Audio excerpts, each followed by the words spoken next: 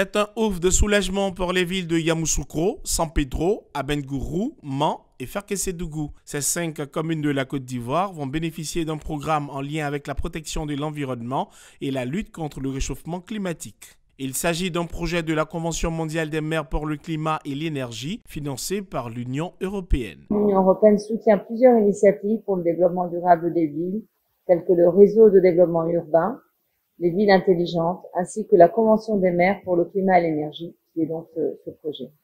L'action de l'Union européenne en faveur des villes durables est également alignée sur les engagements pris suite à la ratification de l'accord de Paris sur le climat.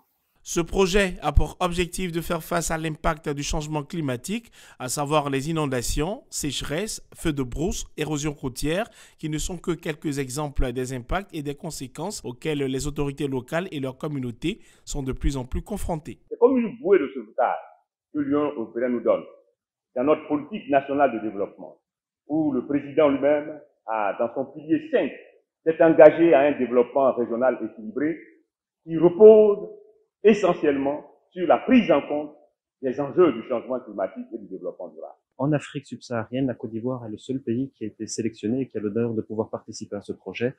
Euh, et concrètement, nous collaborons avec les communes pour identifier les priorités, quels sont les impacts des changements climatiques, et nous accompagnons les communes pour identifier quelles sont les solutions qui peuvent être mises en œuvre pour anticiper les effets des changements climatiques et pour pouvoir les préparer au futur grâce à la mise en œuvre de projets.